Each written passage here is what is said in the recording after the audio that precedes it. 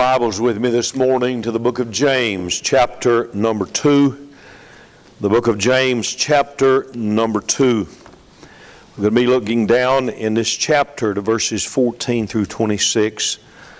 I pray the Lord will help us this morning. I want to look about in our world today. I, I'm very concerned about the brand of Christianity that is being paraded and portrayed in the national spotlight. What I'm talking about is what we often see being pictured by Hollywood performers, by Washington politicians, and even sometimes by quote unquote television preachers today.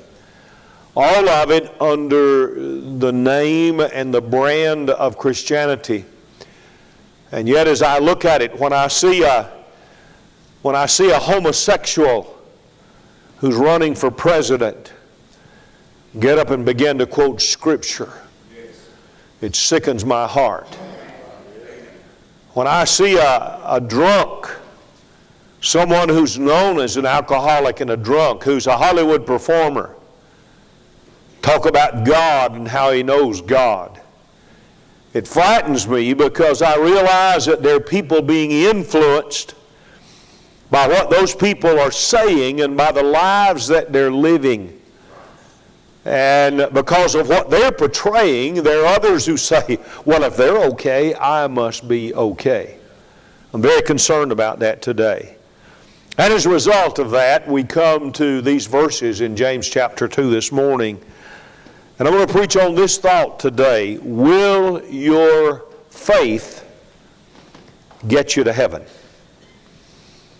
Will your faith, will, will what you call your faith get you to heaven? James chapter 2, if you are physically able to stay, stand, I'll ask you to stand with me. We'll reverence the reading of God's Word together. James chapter 2, verse number 14. What doth it profit, my brethren, though a man say he hath faith and have not works? Can faith save him? If a brother or sister be naked and destitute of daily food, and one of you say unto them, Depart in peace, be ye warmed and filled, notwithstanding you give them not those things which are needful to the body, what doth it profit? Even so, faith, if it hath not works, is dead, being alone. Yea, a man may say, Thou hast faith, and I have works. Show me thy faith without thy works, and I will show thee my faith by my works. Thou believest that there is one God? Thou doest well. The devils also believe and tremble. But wilt thou know, O vain man, that faith without works is dead? Was not Abraham our father justified by works when he had offered Isaac his son upon the altar? Seest thou how faith wrought with his works, and by works was faith made perfect? And the scripture was fulfilled, which saith, Abraham believed God, and it was imputed unto him for righteousness, and he was called the friend of God. You see then how that by works a man is justified, and not by faith only. Likewise also was not Rahab the harlot justified by works, when she had received the messengers and had sent them out another way. For as the body without the spirit is dead, so faith without works is dead also. Would you pray with me and then We'll look at some thoughts out of these verses for a few moments. Father, thank you for being here in this place on the Lord's Day. Thank you that I woke up this morning, Lord, and I had a desire to be here. I realized that desire came from your hand. And I want to praise you for that. It's not, it's not uh, anything that I've wrought or anything that I've worked up, but it's what you've done in my heart that caused me to have a desire to be here this morning, and I thank you for that.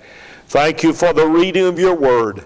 Thank you for the privilege to stand and share its truth with this congregation one more time. I pray this morning you would speak to hearts in this room from the truths of these verses. Help us clearly to examine our hearts. Holy Spirit, would you, would you search us and try us this morning in light of the truth of God's Word and help us to respond as you speak. And we'll praise you for what you do because it is in Jesus' name that we pray and ask. Amen. Thank you. You can be seated.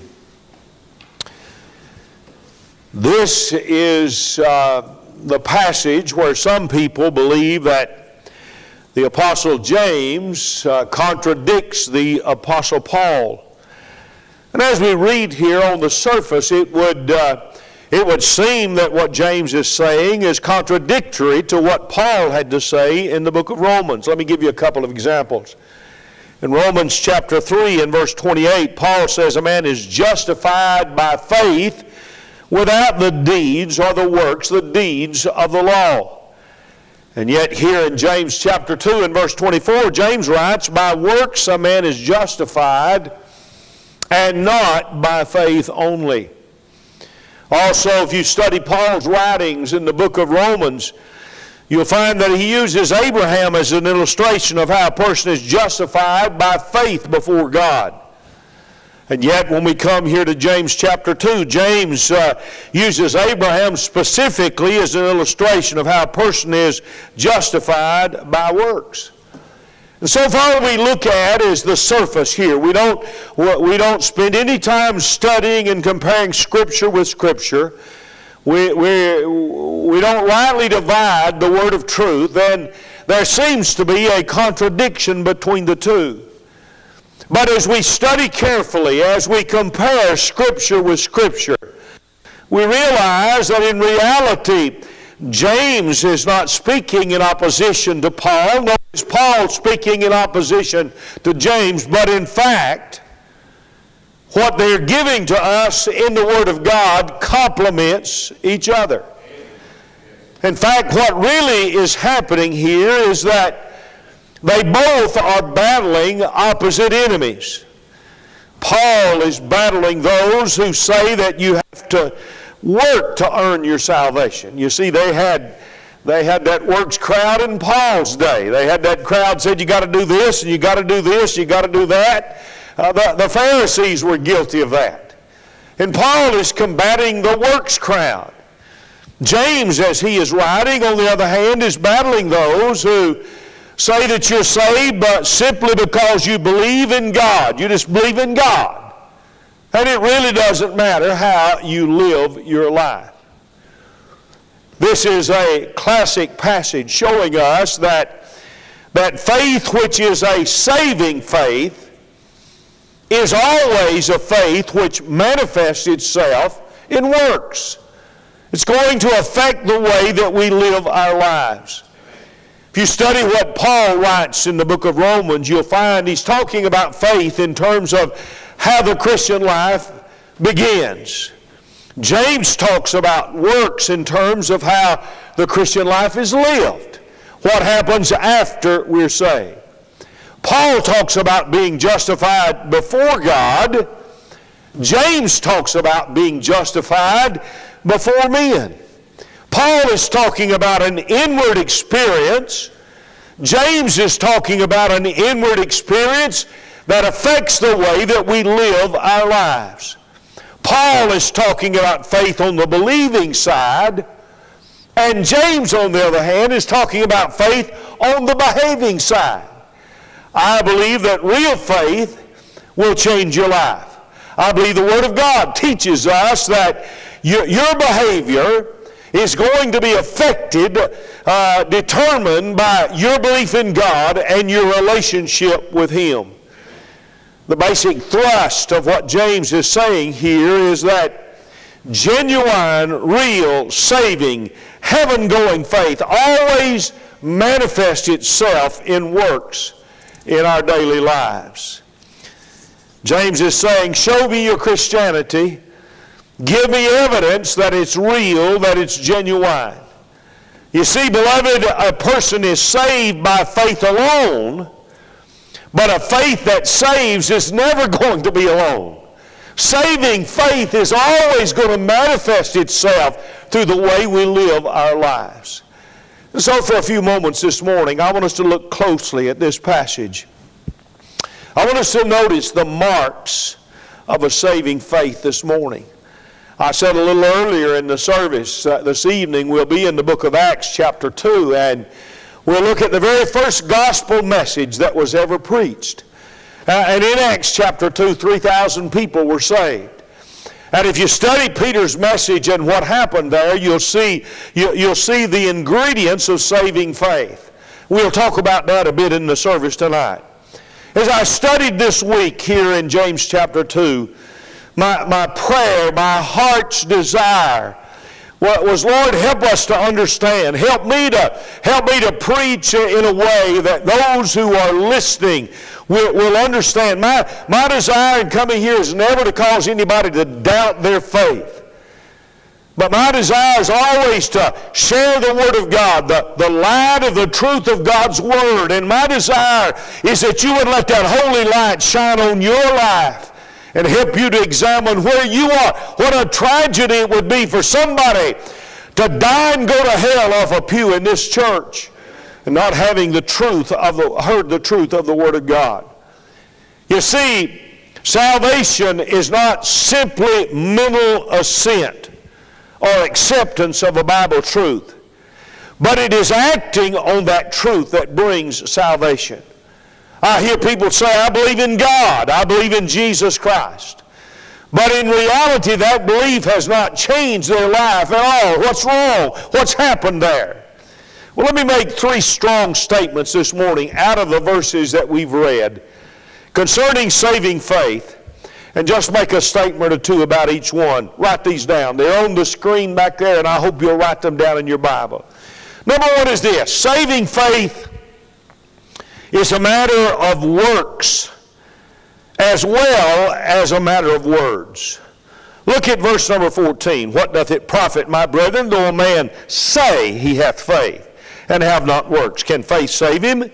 If a brother or sister be naked and destitute of daily food, and one of you say unto him, Depart in peace, be ye warmed and filled, notwithstanding ye give them not those things which are needful to the body, what doth it profit? Even so faith, if it hath not works, is dead, being alone. Yea, a man say, Thou hast faith, I have works. Show me thy faith without thy works, and I will show thee my faith by my works.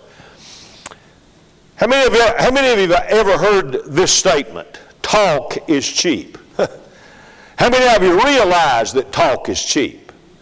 We've all been in that place. We, we've all had folks tell us things that ne- never. We've all had folks promise us things that, that they never did.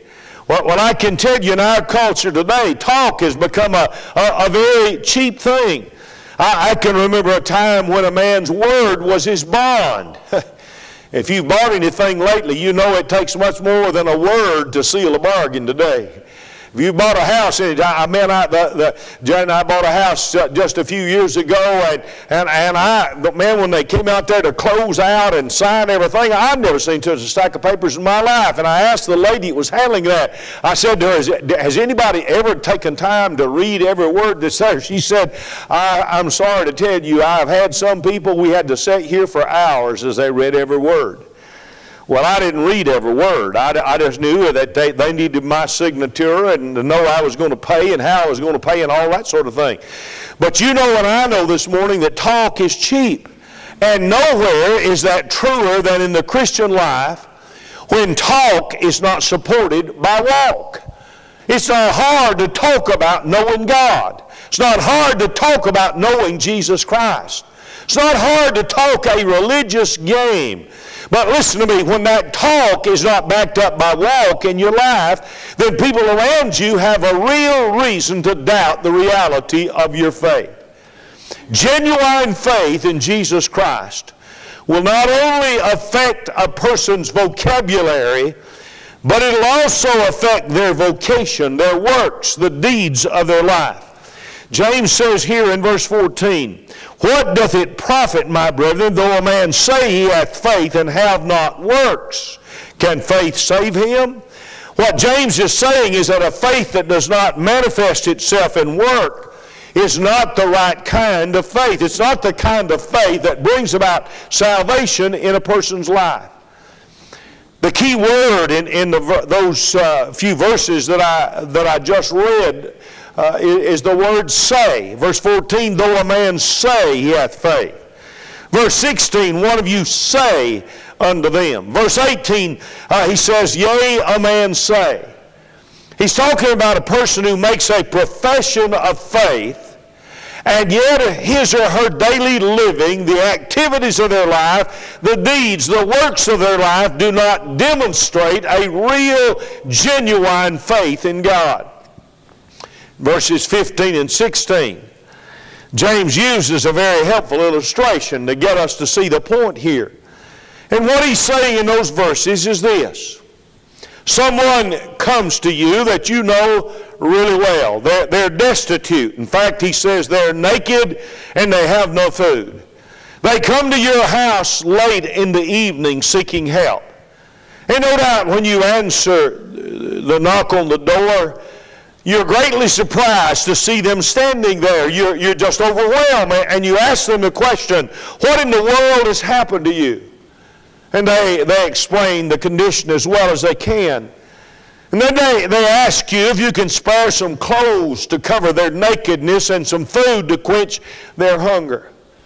Now, now suppose in response to, to that request, everything you've seen, everything you have heard, you say to them something like this Well, I'm going to pray for you. I'm going to pray that God will supply some clothing to cover your nakedness. And I'm going to pray that God will supply some food to quench your hunger. I know the Lord is going to take care of you, and then you simply close the door and go back into your house carrying on your life as you were before that knock came. Now, here's the question. What good is that? Uh, what, what good are those words going to do those people? Be you filled, be you clothed. What good are those words going to do them?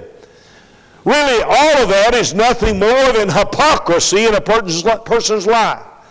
Now, now the words may sound real religious, but, but, but, but words can't fill a hungry stomach and, and words can't clothe a naked body. So what James is saying here is that it's not enough just to say things. You got to demonstrate the reality of those things by the deeds you do, by the life you live. It's easy to sing, Oh, how I love Jesus. But you see, if salvation is real in your life, saying those words are not going to be enough. You're going to invest your life in proving the reality of that statement. And so, what James is saying here, it's not enough to just say things. You got to demonstrate the reality of those things by the deeds you do. Turn over just a, a page or two to 1 John chapter 3. 1 John chapter 3 verses 17 and 18. 1 John 3 verses 17 and 18. The apostle John is writing and he says this, But whoso hath this world's good, and seeth his brother have need, and shutteth up his bowels of compassion from him, how dwelleth the love of God in him? My little children, let us not love in word, neither in tongue, but in deed and in truth. Now I realize this morning we, we live in we live in a day and an hour when there's a con man just about on every corner. Uh, every day as I drive around over this city, I, I see them. I, I see them stand, and, and, and please forgive me. I, I'm not saying that they're all like this, but, but when you see the same guy standing on the same corner or another corner, and you know it's the same person you've seen over and over again, hungry, need food, hungry, need food, or they're standing there with a guitar in their hands and begging for money, say day after day, week after week, and I don't have to drive a block until I see a, a, a sign that says help wanted. After a while, if you're not careful, you get very skeptical of those kinds of things. That's not what he's talking about here.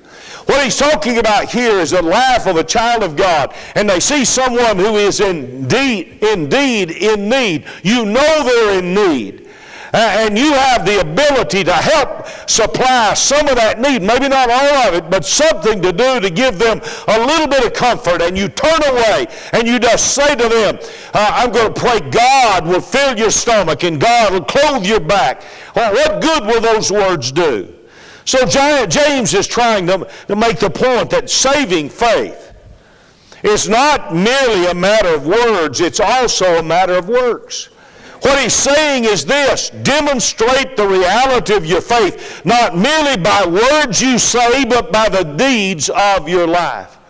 Saving faith is a matter of works as well as words. Look, look at verse number 17 here in James chapter 2. Even so, if it hath not works, even so faith, if it hath not works, is dead being alone. Do you think the Apostle Paul would agree with that statement? There are those who say Paul and James are in total conflict with each other here. Do you think Paul would agree with that? What, do, you, do you think he would say, Amen, even so faith, if it hath not works, is dead, being alone?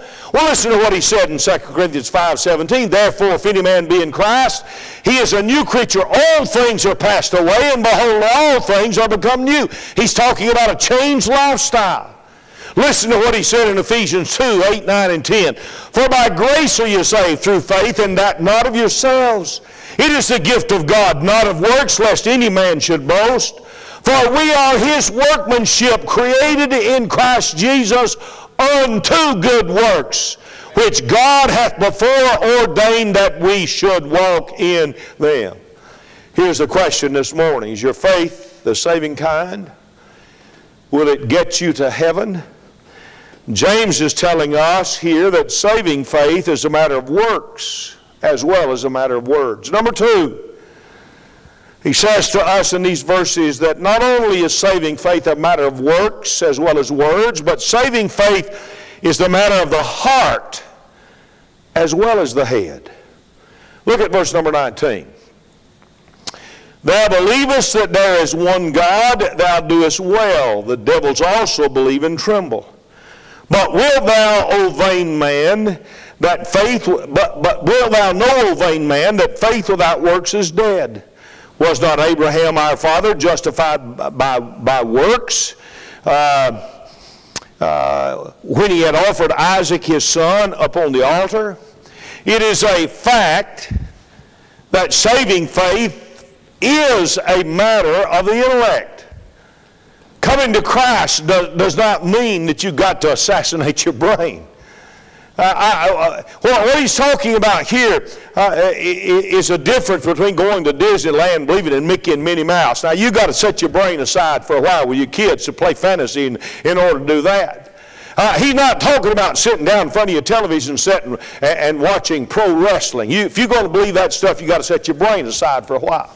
Hello? Huh?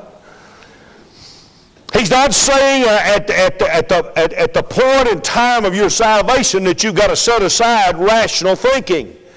In, in fact, uh, if you look at, at it closely, you'll find that the most rational position in all this world is the position of that person who puts his or her faith in the Lord Jesus Christ. There's nothing more rational in this world than that of trusting Jesus Christ. The Christian faith is intellectually credible, thinking people do get saved. That's what James is talking about in verse 19. Look, look, at it. Thou believest that there's one God, thou doest well. He said it's a wonderful thing to believe in God.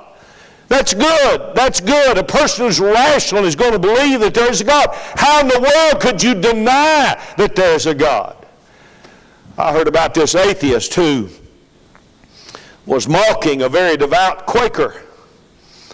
And he said to the Quaker, Have you ever seen God? The Quaker said, No, I, I haven't. The atheist said, Well, have you ever felt God? And the Quaker thought for a minute and he said, No, I, I don't think I've ever felt God. And the atheist said, Well, have you ever smelled God? And the Quaker said, No, I don't, I don't think I've ever smelled God. And then the atheist said, then, well, how do you know that there's a God? You've never, you, you've never seen him, you've never felt him, you've never smelled him. How, how in the world do, do, can you believe that there's a God? And the Quaker said, let me ask you this. Dost thee ever see thy brain?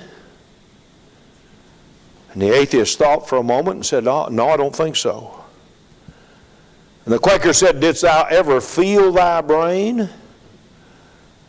And the Quaker said, No, I, I can't say that I've ever felt my brain. And he said, Didst thou ever smell thy brain? and the atheist said, No, I don't think I ever smelt my brain. Well, then, said the Quaker, How then dost thou know thou hast a brain? Thou believest that there is one God, thou doest well. A man who believes in God, that, that is good thinking. But notice the latter part of this verse. James goes a step further and he says, The devils, the demons also believe and tremble. They believe in God. Not only do they believe in God, but they're moved. They're moved as a result of their belief. They tremble. That word tremble means to shudder. It means to be disturbed by the thought that, that there is a God. It's amazing as you study the New Testament to find out some of the things that the demons believe. Mark chapter 5, the demons in the Gadarean demoniac that Jesus healed confessed that Jesus was the Son of the Most High God. Think about that. Demons believe that. Mark chapter 1 tells us the demon and the, and the man that Jesus delivered confessed Jesus as the Holy One of God. In fact, if you'll study the New Testament, you'll find that, that demons believe there's a coming judgment and that there is a hell. That, that, that's something that a lot, a lot of even quote unquote religious people like Joel Osteen don't even believe. They're smarter than he is. The one thing that a demon will never do is confess that Jesus Christ is Lord of his life.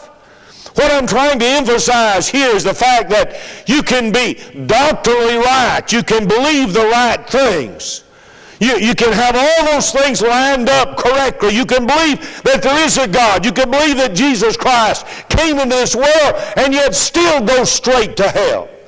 Salvation is a matter of the heart as well as the head.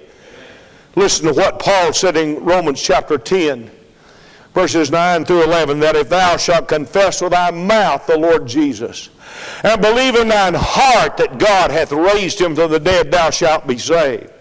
For with the heart man believeth unto, the, unto righteousness, and with the mouth confession is made unto salvation. As the old preacher years ago I, I heard say, I, I fear that there are a lot of folks who are going to miss heaven by about 18 inches. They got all the thinking right, but it never had an effect on their heart. You see, saving faith is not merely a matter of intellectual belief, but saving faith is a commitment to what the Word of God has to say. You heard this illustration before, but it fits so well here about the tightrope walker who had uh, strung a, a, tight cable across uh, the Niagara River just above the falls. A crowd had gathered around to watch what he was doing, and he, uh, he asked that crowd, How many of you believe I can walk across the river on this tightrope? And uh, everybody said, Yes, we believe you can. And he walked across the river and, and back. Then he got a wheelbarrow and he said, How many of you believe I can roll this wheelbarrow across this tightrope and back? And all they, again, they, they said yes. And again, uh, he took that wheelbarrow and walked across that river and back. When he got back to the other side where the people were assembled, he said, Now, how many of you believe I could put a man in this wheelbarrow and push him across and back? And again, the people applauded. Oh, yes, yes, we, we believe you can do that. And he looked over the young man standing close to him and he said, Son, how about you being the first one? The boy looked at him carefully and turned, turned, turned aside and ran for his life. You see, he believed in his head, but he didn't believe in his heart. Do you have saving faith? I mean, have you committed your life to the Lord Jesus Christ? Look at verse 20 again. But wilt thou know, O vain man, that faith without works is dead? What he's saying is this real faith, committed faith, faith that is exercised in Jesus Christ, is going to affect the way you live. Faith is a matter of works as well as words. It's a matter of heart as well as the head. And then lastly, in the latter part of, of this chapter, uh, James talks about saving faith being public as well as private. And he uses two illustrations to close out what he's teaching here to make his point. And what he's basically saying here is if you've indeed trusted Jesus Christ as your personal Savior, then you're going to be willing to make some outward public confession of that faith in Christ. He uses Abraham, first of all, in his illustration, verses 21 through 24. He, he's using the same scripture here that Paul used back in Romans chapter 4 concerning Abraham. Look at verse 23. And the scripture was fulfilled, which saith, Abraham believed God, and it was imputed unto him for righteousness, and he was called the friend of God. The reference he's making, uh, the reference that Paul made, is to uh, what happened in Genesis chapter 15. God had promised Abraham that he would bless the world through his seed. As we come to Genesis 15, that promise has not been fulfilled. Abraham is now an older man. And he raises the question with God, Lord, Lord, I'm still childless. What, what wilt thou give me? And God said to him again, Abraham, look toward the heavens. Look at the stars. Can you number the stars? And Abraham said, No, God, I can't number all the stars in the sky. And the Lord responds, Abraham, your seed will be as numerous as those stars in the sky. And then the, the Bible says, Abraham believed God and it was, it was counted. That word counted there is the word imputed. In other words, uh, God is placing this to his, his account. God counted, uh, it was counted to him for righteousness. Abraham in his own heart, in the privacy of his own soul, was justified by faith before God. It was a deeply personal, deeply private thing as he, as he believed what God said to him.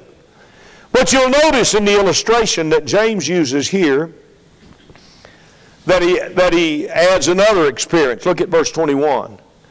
Was not Abraham, our father, justified by works when he had offered Isaac, his son, upon the altar?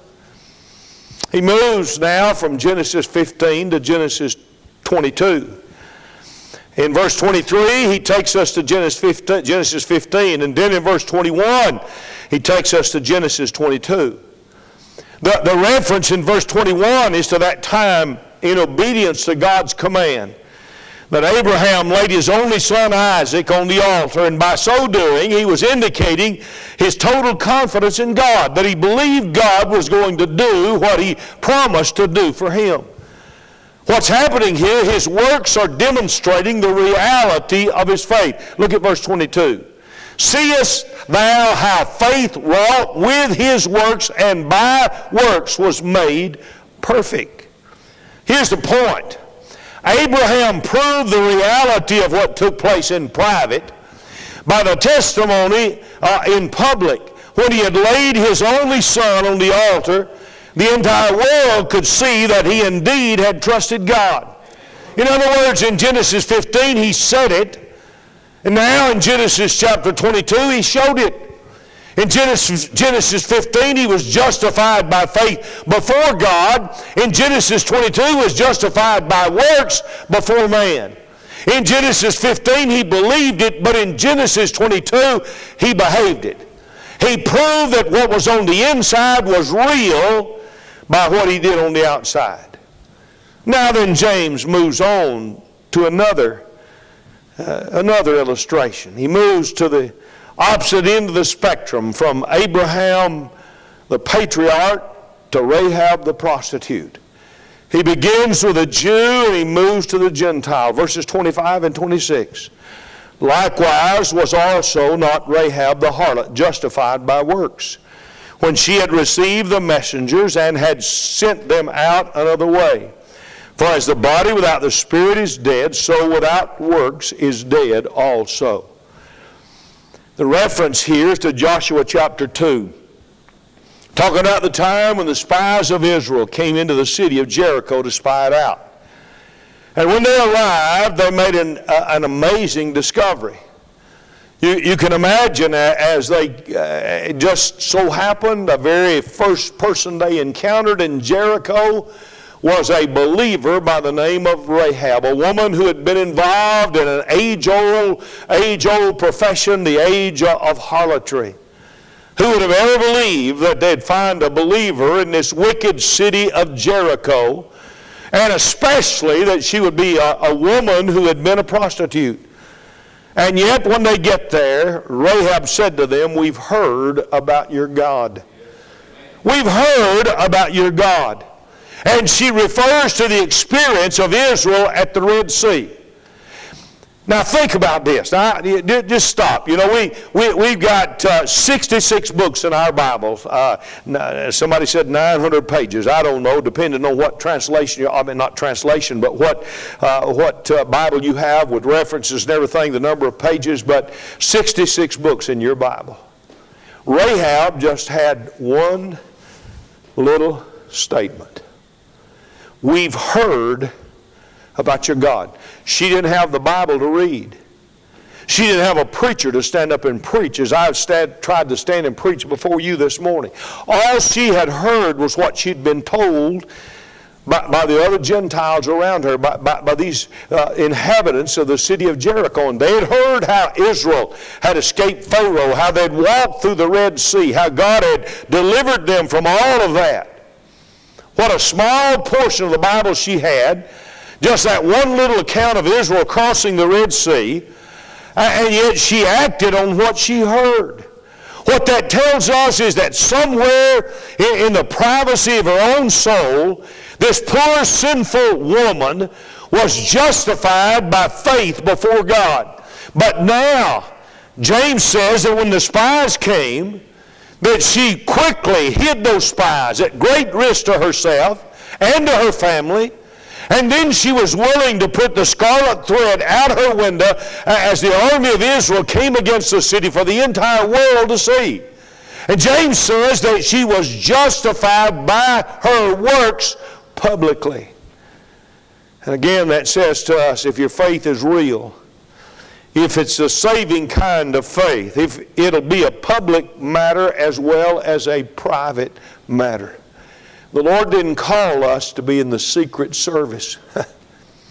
he called us to be open Christians in this world. You may not know every verse of Scripture that somebody else you know knows. But if you're saved this morning, the Spirit of God lives and abides within you, and day by day He's instructing you in how you ought to live. And the way you live is going to influence the lives of other people. Miss Janet and I were sitting the other morning, early, oh, and, and, I, am talking early, we're talking 7 o'clock, and uh, we were sitting at uh, Chick fil A. And uh, as we normally do, we sat down with breakfast in, in the back, and as we always do, we bowed our heads and prayed. When I, when I lifted my eyes, I saw a young man. I saw him when we came in. I'm always observant, and I go in places today with all this mess going on. You want to know who kind of who's around you today, so if you need to take cover, you can. And I saw this young fellow, and when I, when I, when I raised my eyes up, I, I couldn't help but notice that he was looking directly at us. He got up out of his seat. He came. All, he was sitting up at the front of the restaurant. He came all the way to the back table where we were sitting, and he broke out in a smile about the time he got to our table because I didn't know. Oh, I thought, what, what, what's? Well, being a preacher, you get used to people hitting you up for a meal wherever you go.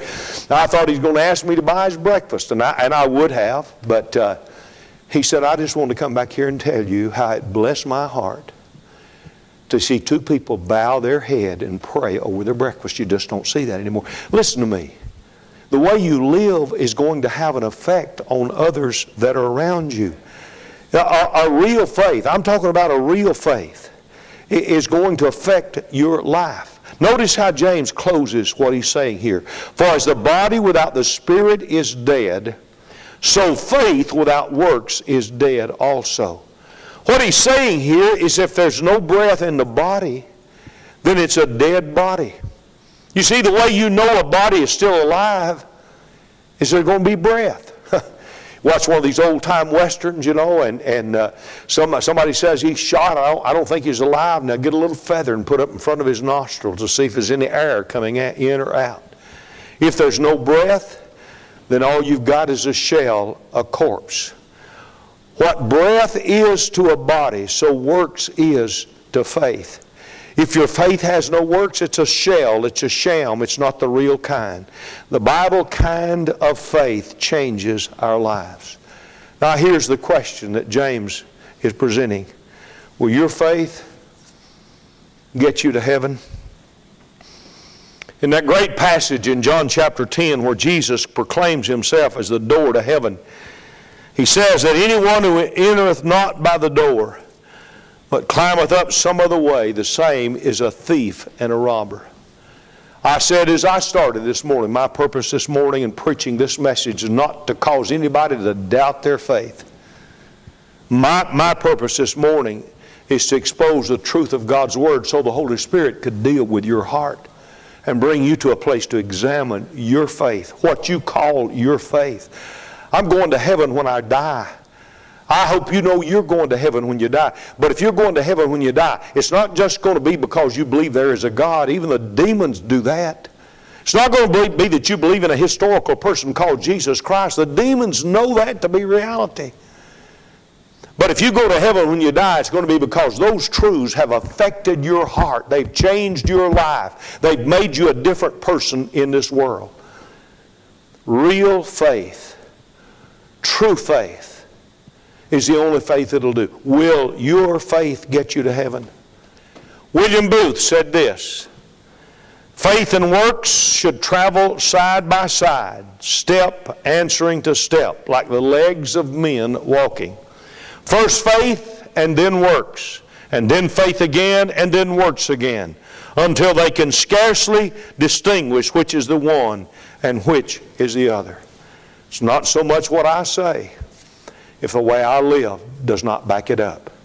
It's living faith, living reality that men can see Jesus in our lives. Would you bow your head with me, please? Our heads are bowed, and eyes are closed for a moment this morning. Our ladies are coming, the piano and the organ this morning. The question is simply this Will your faith get you to heaven?